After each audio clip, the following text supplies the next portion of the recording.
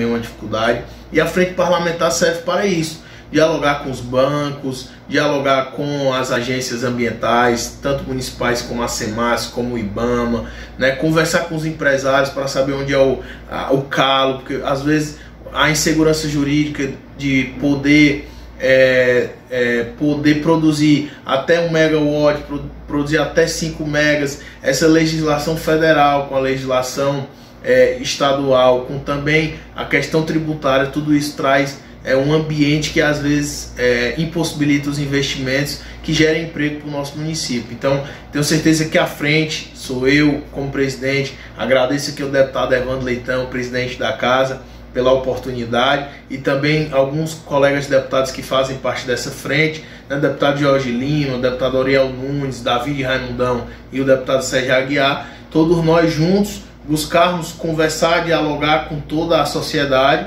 e encontrarmos o melhor caminho para, de fato, com a ajuda do governo do Estado, com a ajuda dos deputados, do Poder Judiciário, do Ministério Público, transformar a ambiência de negócio do Ceará, que já é boa, em melhor ainda, né? numa melhor ainda, para nós trazermos investimentos nas energias renováveis aqui para o nosso Estado.